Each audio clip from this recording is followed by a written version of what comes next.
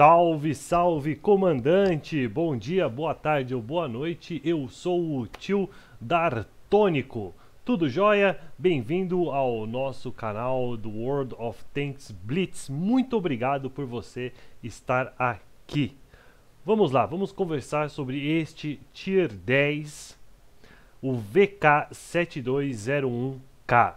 Difícil a gente ver esse tanque em partidas tá? Não é um tanque muito comum não, porque a galera tem um certo preconceito com esse tanque, tá? Mas é um tanque muito bacana de jogar para fazer linha de frente, para dar suporte e tem gente que fica puto, mas dá para jogar com ele de caça-tanque também, tá bom? Mas o ideal é jogar com ele de linha de frente e suporte, tá? Qual que é as vantagens, melhor, quais são as vantagens desse tanque? Ele é super blindado, ou seja, ele tem uma blindagem muito boa. Dá uma olhadinha aqui, 227 de blindagem. Isso é bem bacana, vendo ele assim de frente, onde é que o pessoal tenta acertar o seu tanque? Na junção da blindagem superior com a blindagem inferior, nesta parte eles tentam dar dano, tá? E nas laterais da sua torre, tá? É aí que o pessoal vai dar dano nele, tá bom? Mas se você jogar com ele anguladinho, vai dificultar bastante a questão da parte da blindagem aqui, tá? Pra você tomar dano aqui. As torres, meu, na torre você tem que ficar esperto, que o pessoal adora. Então evita na hora do reload, se tiver alguém mirando em você, evita ficar parado. Mexe a torre, mexe o casco, tá? Para você se, tentar segurar eventuais tiros. É, qual que é o grande problema dele? Além da velocidade ser de super pesado, né? Então não é uma grande velocidade, o pessoal não gosta muito dele porque a taxa de disparo é alta. O tempo de recarregamento é 16.75 segundos, é superior até do Jagdpanzer E100 caça-tanque alemão, tá bom? Mas é um tanque pesado para fazer de frente se souber jogar com ele, cara, você vai fazer uma play bem bacana. O dano dele é bom, 640 de dano. A penetração dele também é boa, sim. 271, o dano dele é, é ótimo, para ser sincero. A penetração é boa, 271, dá para fazer um estrago sim bem bacana. O problema dele também tá, está nas laterais dele. As laterais, o pessoal adora dar tiro nas laterais dele tá? Tanto da torre, mas principalmente a questão do casco, o pessoal adora dar dano nesse meninão. Infelizmente a traseira dele não tem grande blindagem, tá?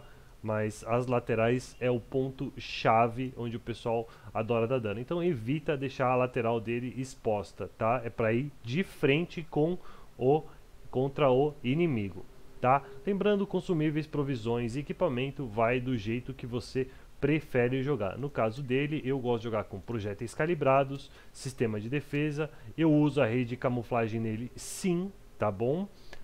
Supercarga, blindagem aprimorada e controle melhorado, porque a rotação do casco dele é bem devagar, tá?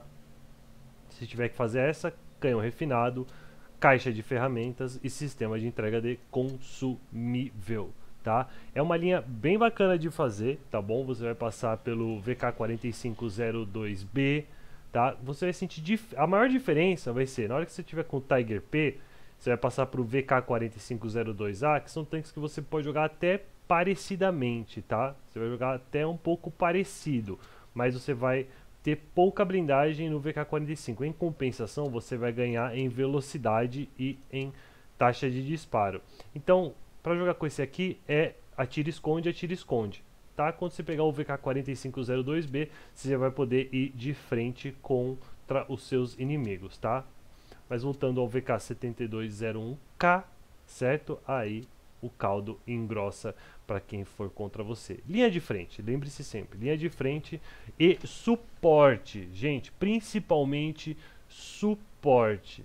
Por quê? Porque o reload dele é muito longo. Então, às vezes, você está muito avançado na linha de frente, você pode tomar muito dano até você entre um disparo e outro, tá? Então, essencialmente, joga primeiro de suporte ou faça a linha de frente, mas não fica muito exposto, tá? Vamos ver aquela replay para a gente conseguir exemplificar tudo isso que eu acabei de falar. Enseada da Cachorrória, né? Olha lá, não sou o top tier do time, né? Mas vou conseguir, será? Será? Conseguir fazer um daninho. Lembrando que, gente, no tier 10, leva uma munição prêmio, pelo menos umas duas, né? Leva um pouquinho de HE para casos de desespero, de ficar 1x1, de você tem que deitar o cara ou morrer, então leva, tá? Só leva. Vamos lá, já identificaram um FV ali, tem que pesado inglês, né? O IS-7 tomou a posição, tomou um salve, não atirou em ninguém, saiu fora, deu espaço para mim.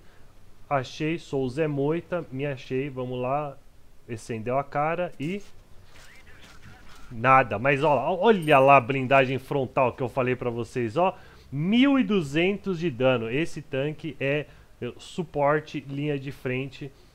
Você consegue tancar uns tiros, sim senhor. Certo? Olha lá, o IS-7 descendo para capturar o ponto, um Rorizão ali. O ECEM não deu a cara, vou mirar ali no Rori. Eu sei onde é o ponto fraco do Rori Tier 9, vou mirar e... Gol do Brasil! Atirei, voltei, porque o tempo de reload dele é complicado, tá? É complicado, é alto, é muito alto, tá? Daí, quando chegar próximo do zero, aí vai. Olá, pau. Atirei, recuei de novo. Recuei. Esperar o tempo certo de atirar. O tempo de mira dele é um pouquinho demorado. Ó porque eu falei para levar munição premium, ó. Munição premium. Vou deixar de dar dano no E100. Pô, eu sei é um tanque apelão, então vamos lá, vamos fazer dano dele. Lógico. Né? Tempo de mira dele, como eu estava falando, demora um pouquinho, não é dos piores, tá bom? Mas não é super alto, tá?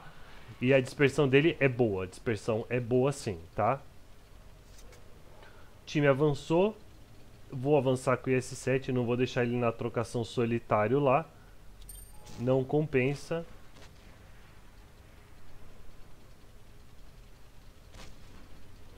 Vamos pra cima desse 100 aqui. Eu sei que com um tiro eu deito ele. Mirei. Lá se foi o E100.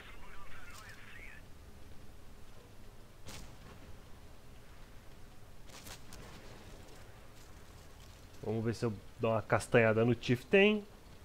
Olha lá, a pen dele é muito boa. Já era o Chieftain MK6. É um tanque essencialmente para você jogar de frente, tá bom? Só angula se for extremamente necessário, mas pode ir de frente, tá?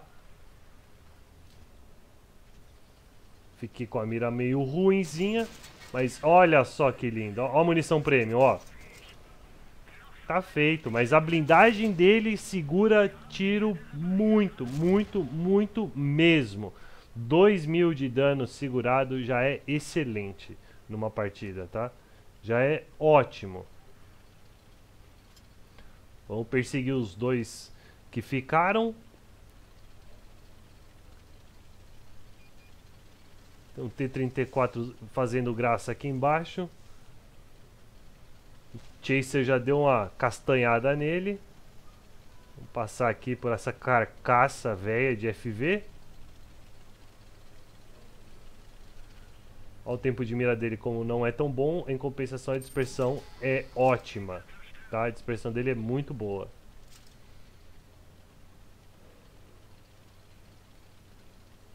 Em resumo, gente, tanque super blindado, esse aí pode ir de frente, tá?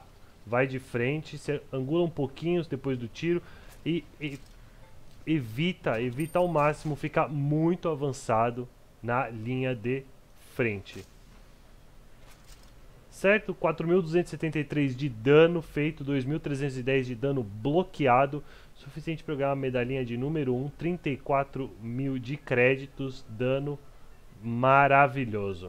Olha lá, fiquei em segundo, mas foi o suficiente. Esse 268 Chaser também jogou muito.